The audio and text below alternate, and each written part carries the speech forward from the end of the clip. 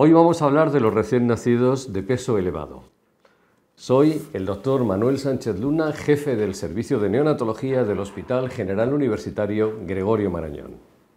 Bien, de todos he sabido que un bebé que nace con un peso adecuado y que tiene un aspecto de salud es siempre bienvenido en todas las familias y que tradicionalmente los niños que han nacido con pesos grandes, allá por encima de los 3 kilos, 3 kilos y medio, pues parecía una señal de salud. Bueno, nada más lejos de la realidad cuando este peso es excesivo, lo que llamamos nosotros peso elevado. Tradicionalmente se habló de estos niños cuando pesaban más de 4.000 gramos, pero tendemos a compararlo con el peso que deberían de tener en función del el momento en el que nacen, esto es de la edad gestacional.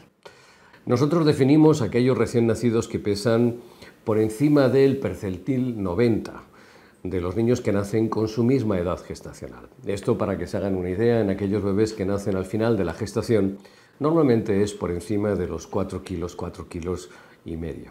No significa que el hecho de nacer con un peso elevado sea un problema médico, evidentemente, pero en algunas ocasiones sí lo es. Tradicionalmente hemos visto y seguimos viendo familias en que los niños nacen con pesos grandes y no tiene ninguna importancia, no tiene más trascendencia, salvo que es muy conveniente que esto se sepa en los controles de la gestación, porque lógicamente pueden existir dificultades en el momento del parto de estos bebés que son grandes. Dificultades que pueden estar relacionados con el propio mecanismo de la expulsión de estos bebés de tamaño grande. Hoy, sin embargo, quiero referirme más a aquellos bebés que nacen con un peso elevado pero el motivo es diferente. No son familias que tienen habitualmente los niños grandes, sino que se deben a trastornos, en la mayoría de los casos, nutricionales de la madre.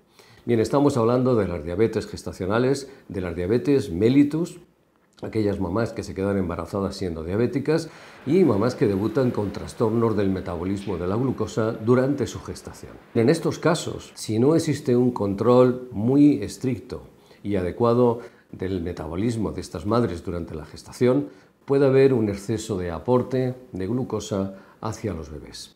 Este exceso de aporte va a provocar varias complicaciones que en algunos casos pueden ser importantes, como por ejemplo el exceso de peso, pero también que en el momento del nacimiento estos bebés tengan bajadas del azúcar después de nacer.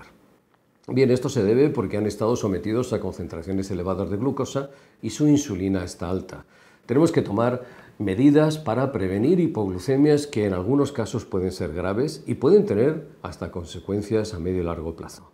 Por eso estos bebés que ya sabemos que van a nacer de gestaciones con problemas metabólicos en las mamás, tenemos que prestar una atención de vigilar Inicialmente, esos controles de glucosa, administrar la alimentación de forma muy precoz y en algunos casos no va a haber más remedio que administrar suplementos a esta alimentación, que es la lactancia materna, como geles de glucosa que se administran oralmente y en algunos casos los menos, pero en algunos casos también tendremos que administrar glucosa en forma de soluciones en vena.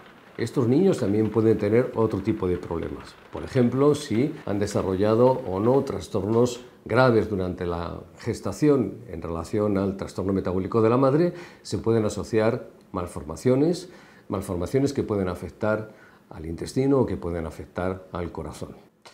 En general tenemos que prestar mucha atención a precisamente el buen control de la gestación en todas aquellas madres que tengan antecedentes familiares o que tengan ellas también algún antecedente de trastorno metabólico en el control de la glucosa. Por ello es fundamental que todas estas madres hagan un seguimiento muy estricto desde el principio del embarazo.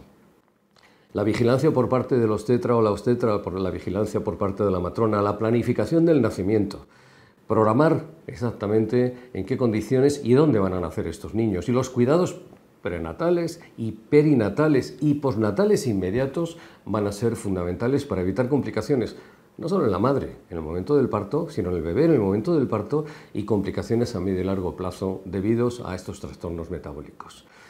En general, nacer con un peso alto no tiene por qué dar complicaciones si están bien controlados estos niños.